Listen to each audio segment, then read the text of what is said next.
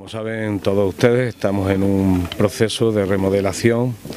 de actualización y sobre todo de modernización de las pistas deportivas de Mariano de la Paz. Como saben, es un, parque deportivo que data de hace ya bastantes décadas y que necesitaba una remodelación y, como digo, eh, rehabilitación no solamente de todos los elementos deportivos, sino una actualización también en cuanto a normativas y demás, de acceso a minusválidos y para cumplir con... Y por supuesto también eh, en el diseño y planificación ya de la futura pista de atletismo, para la cual ha habido que eh, distribuir, redistribuir los espacios, por supuesto, adquirir un terreno aledaño al Mariano de la Paz porque para cumplir con la normativa de las pistas de atletismo para que sea oficial pues eh, necesitábamos mucho más espacio, mucho más terreno con la también teniendo en cuenta la orientación que había que darle norte-sur, eso ha determinado también la dimensión del terreno de la parcela que necesitábamos para, para complementarlo. Está más o menos diseñada con respecto a, quiero que la vean ustedes, más o menos. Esta quedaría, estas son las pistas de tenis, esta sería la orientación norte-sur, como digo, que estaría eh, totalmente eh, encajada, integrada dentro del espacio, de, una manera que consigamos integrar pues, más deportes. Luego, como sabéis, se han llevado a cabo toda esta obra con las pistas de tenis se han actualizado. Ahora mismo se está celebrando precisamente el Open en su edición número 32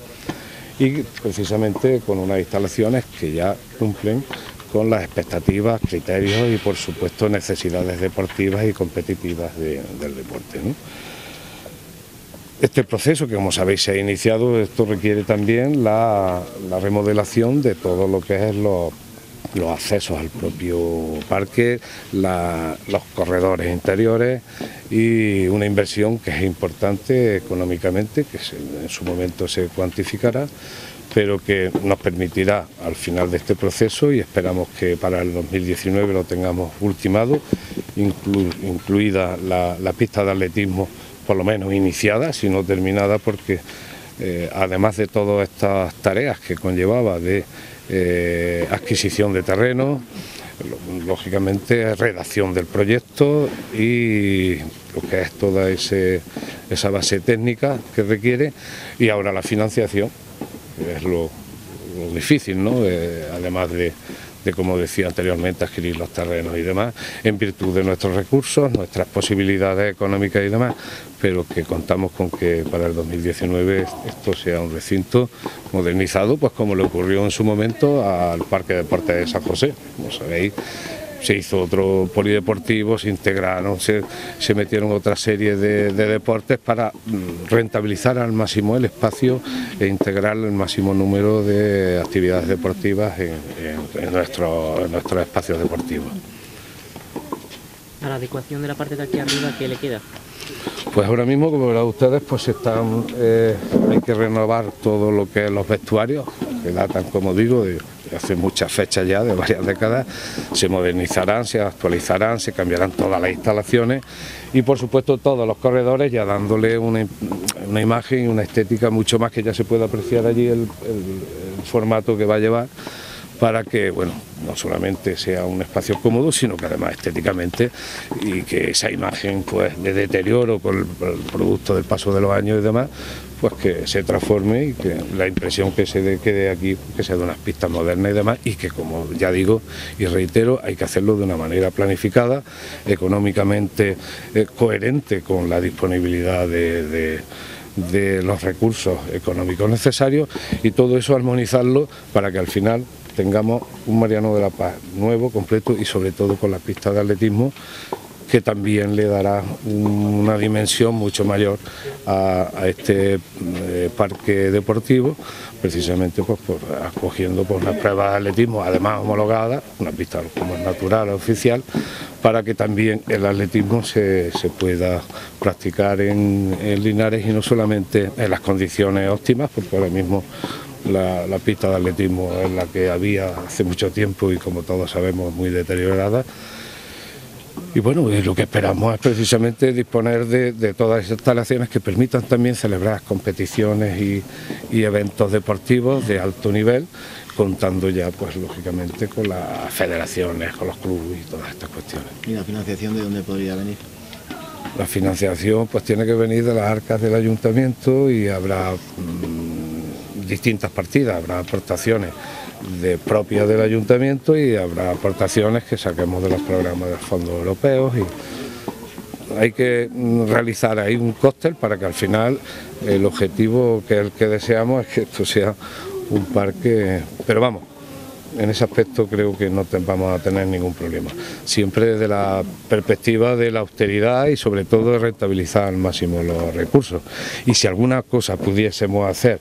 concursos de formación y demás, que eh, como hemos hecho en algún caso con las pistas que hemos realizado en distintas barriadas de, de Linares, pistas de fútbol 7,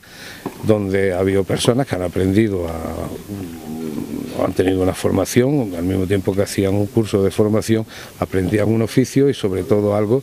que luego eh, les pueda servir para integrarse en el mercado de trabajo, el mercado laboral,